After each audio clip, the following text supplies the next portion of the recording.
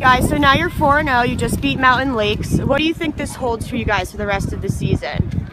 Um, I feel like it definitely shows that, I mean, we worked so hard in practice and coming into the season we have a pretty upper, upperclassmen dominating team. So we just have to use all of our strengths and know whose strengths and whose weaknesses and going against teams and pressuring out and just playing all out because this is our, is our last year and we have nothing to lose so we just want to make it the best year as possible.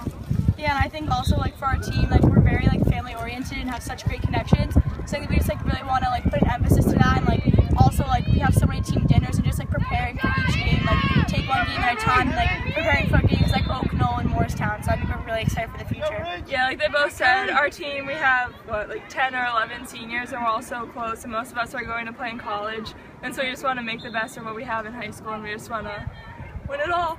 Yay!